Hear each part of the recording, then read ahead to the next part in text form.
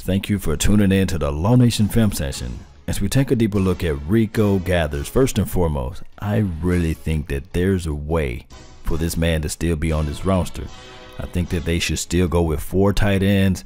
The only threat to Rico, believe it or not, is uh, Jamize Olawale. And here's why. Jamize Olawale can line up as the H back. He can catch the ball out of the backfield and he can bring so many other things to the table as far as uh, run threat and also catching that ball. It's just remarkable to me. But if you look at Rico Gather's skill set, his ability, his height, and all those things that come into play means everything.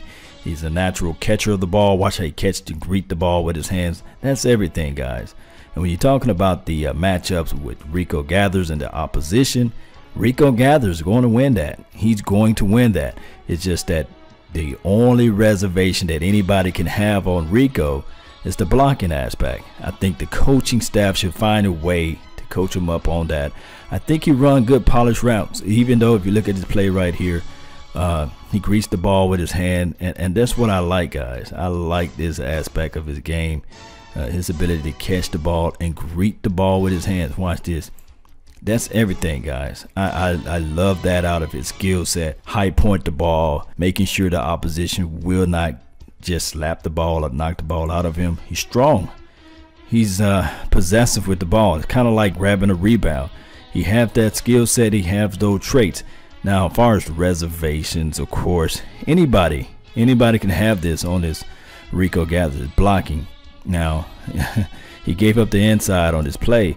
Now, everybody knows when when you're blocking, you got to lower your hips. Low man always win, right?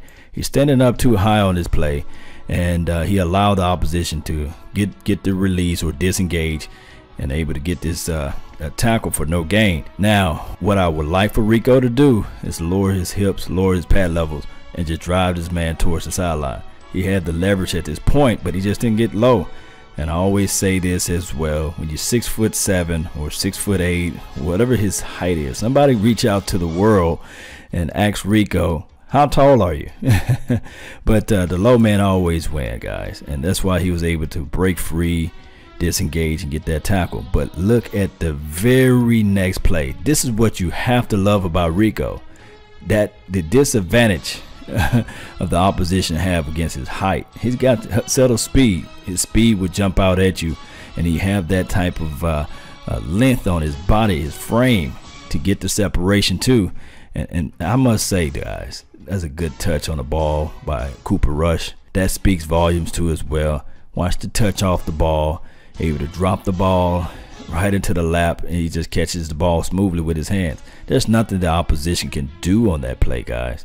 That's what I like. And then let's look back at this play again. Let's look at the height ratio difference. Uh, it speaks volumes, guys, what he can do. For, look at the height advantage. it's like a man amongst boys, a beast amongst puppies. He can catch this ball nine times out of ten. He's catching that, guys.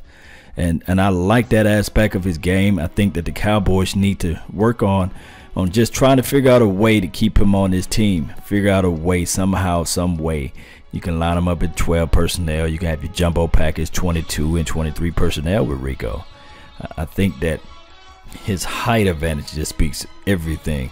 You can't coach against that. He can high point that ball and, and pluck the ball out of the sky, put six points on the board. That's everything, guys. That's what you need. And even off of off man coverage right here, it's a third, it's a third and 11 as we can see. Everybody backpedaling because they're trying to say, okay, we just want to stop the opposition from getting to this marker or the Cowboys or what have you. Third and long. And he's going to score off this play. He's just going to run a, a simple post route right up the middle, drag right up the top, pluck the ball out of the sky. There's nothing. There's nothing. Only a few defensive players in the National Football League can stop that play. And and now you have that weapon on your side of the team. Come on, Cowboys, figure out a way to keep this guy on your roster. Look at this. Look like uh, a man amongst boys. I don't know what his height. Somebody figure out what is Rico Gathers' real height. Please reach out to Rico. Let us know because at this point these guys look like ants, and, and there's nowhere you can stop that play, guys. There's no way you can stop that play. high point the ball, snag them, or mouse them. There's nothing that you can do. Uh, we talk about window passes or window throws. This is a whole balcony. You got all this area, all this area. There's nothing that any DB can do to stop this play. This guy is huge. He's big.